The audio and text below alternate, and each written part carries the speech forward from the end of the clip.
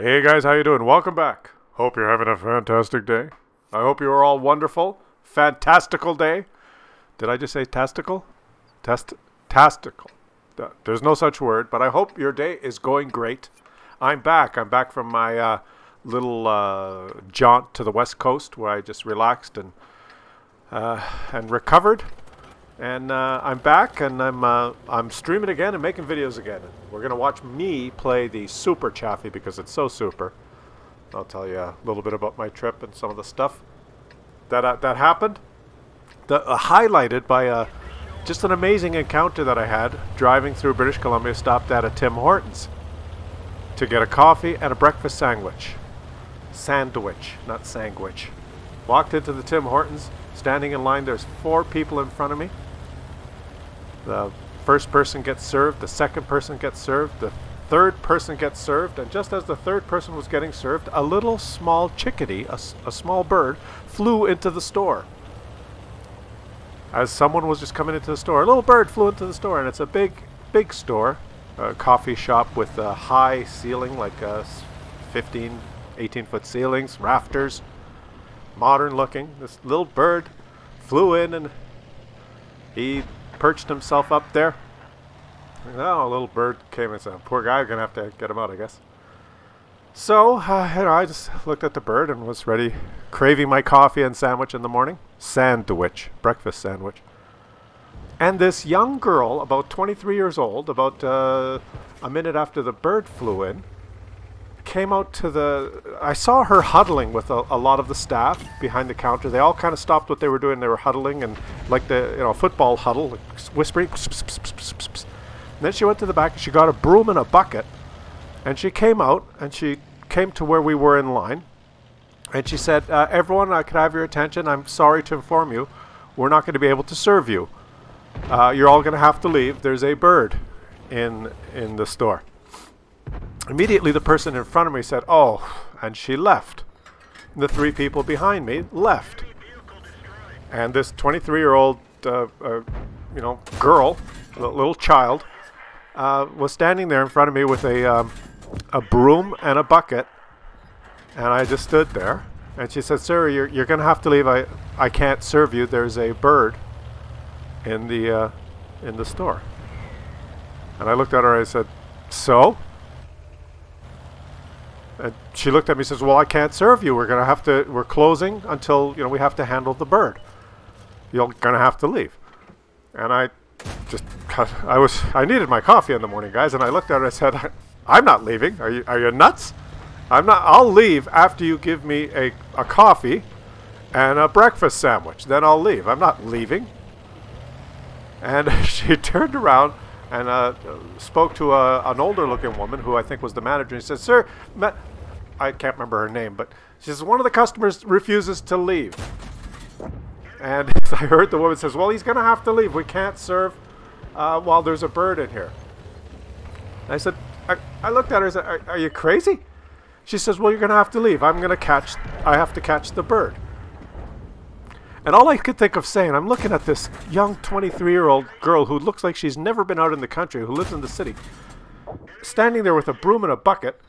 And she said, I have to catch the bird. And I just looked at her and said, You're not going to catch the bird. And this is, I'm, this is complete truth. I just looked at her like I needed my coffee in the morning. I said, You're not going to catch the bird. And she said, Yes, I am. And I'm looking at her, and she's her eyes are darting left, right, left, right, because she's a little unsure of herself. And I just looked at her and immediately said, "I said, have you ever caught a bird before?" And and her face went kind of blank, and her jaw dropped a little bit, and, and she just she kind of looked around behind her. She said, "Well, no." I said, "You're not going to catch a freaking bird with a broom and a bucket." Nobody's going to catch the bird. Open the doors and the bird's going to fly out eventually. I need a coffee and a breakfast sandwich. What are you, crazy? And then one of the women, was, they were all women. It has nothing to do with whether it was women or men, but there was another woman behind the counter and she says, Well, we can serve, we have a breakfast sandwich ready and a coffee. We can serve him before we deal with the bird. And she said, Okay, well, fine. And I got my breakfast sandwich and my coffee and I was leaving the store and I saw this pathetic young child with this broom and a bucket And she was going to deal with this poor little bird. What was she going to do? Knock it in the head and kill it? and Put it in the bucket again? She's not going to catch the freaking bird. Nobody can catch a bird. I, anyways, I need. This is a true story. Okay, true story. Uh, I left. I don't know if they caught the bird. I wish the bird well, and I hope it all worked out for him. And uh, that's that was one of my pit stops. That was the highlight of my. After I had the coffee and I could kind of calm down and think, I thought, hey, that that was really funny, and uh, I thought I would just share it with you guys. We finally did it. Ooh. Ooh. Cut, cut, cut. We don't need the music. Yes, I know, I know. I aced the super Chaffee. Big deal. And you know what else, guys? I did. Uh, I had a long conversation with uh, Afro Legion. Remember Afro Legion? Featured on this channel uh, many times in the past. World of Tanks, part of our World of Tanks community. Uh, the kid's just, um, well, he's a graduate uh, civil engineer. Graduated from uh, University of Alberta. And man, the guy's just had some shit luck, you know, because uh, uh, he's graduated as a as an engineer right at the time when oil prices were collapsing, and in Alberta, all the uh, oil companies and and uh, most of the major employers of engineers were laying people off. So it was very difficult to, to get a job. Couldn't get a job, and wanted to wait. You know, trying to get a job, waiting for that system to clear itself out. But just as, uh, because what companies were doing, they were advertising for uh, EITs and, and young engineers out of school, and then 20 uh, year experienced engineers that had been laid off apply and they get hired. And these poor kids out of school couldn't get a job. Well, then uh, some time went by and the economy looked like it was uh, turning around and things were going to get better. And then, boom, COVID hit. And COVID hit and everything shut down. And no, no, no, no jobs. No. Right? Now COVID is slowly uh, diminishing, and uh, the economy uh, picking up again. And now the poor kid's uh, trying to get a job, but he's uh, he hasn't been uh, employed as an engineer for a couple of years. He's he's worked some some projects and some co-op placements, and he's held some you know other jobs. And it's just going rough, rough for for the kid just uh, it's not like the old days when when we were kids us uh, older guys that get out of school and there was a hundred companies trying to hire you. I mean and then he's explaining to me the process of trying to uh, to get a job. And it's all done online. And it's all done on these job boards and linkedin and uh, these social networks and apply there's no talking to anyone. They don't leave phone numbers where you can uh, speak to the recruiter or you if you go into the company with your resume, they look at you like you're from uh, Pluto. Uh, it's also impersonal, and there's algorithms that scan your resumes and CVs to find uh, certain buzzwords, and it's all automated and impersonal. It's really tough. The guy's been having some trouble just landing, and he's a he's really smart. He's he's smarter than I am. I'm pretty smart. He's not as funny as me, but he's he's he's a lot smarter than me. I got a job when I got out of school easily. You know, God help that company that that hired me. But man, there's a lot of uh, there's a lot of younger younger generation educated kids in his boat, and I just uh, conversations really feeling feeling bad for him. I thought I'd mention it here because I know uh, the audience is broad, and a lot of you guys are uh, uh, from various parts of the country, and may uh, maybe you guys have some uh, some opportunities or know of someone that uh, or of a company that is interested in hiring a very smart engineering grad that can do any kind of technical works, problem solving, technical work, uh, civil uh, uh, project management, or, or anything.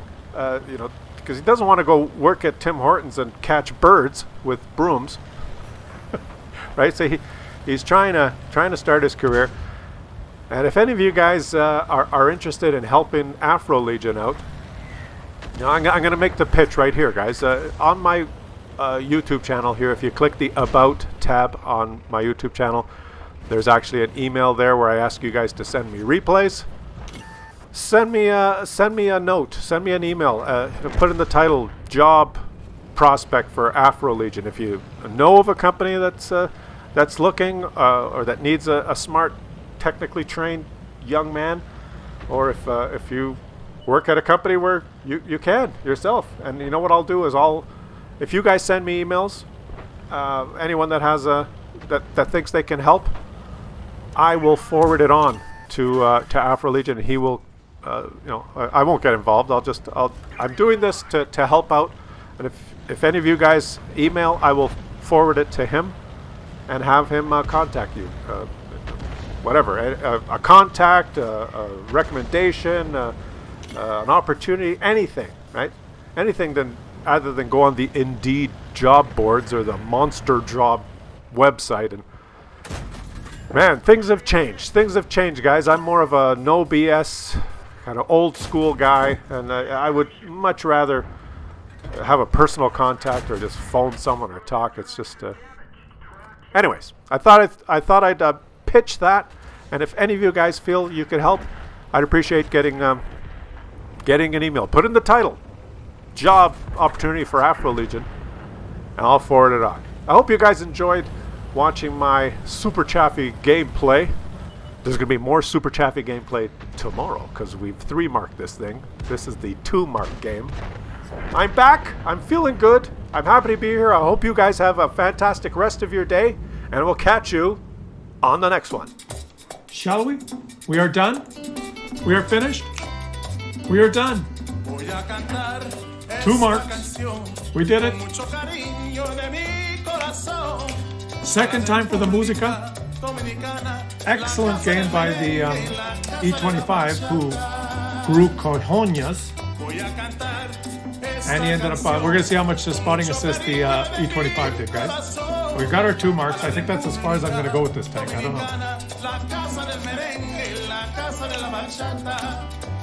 La, la, la, la, la, la, la.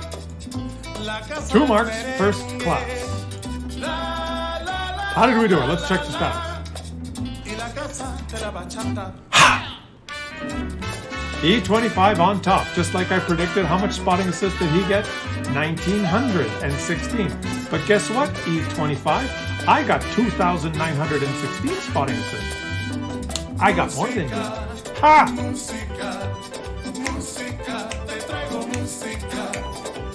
2,916 spotting assist? Ay caramba! He spotted at the beginning, I spotted at the end. Good teamwork there.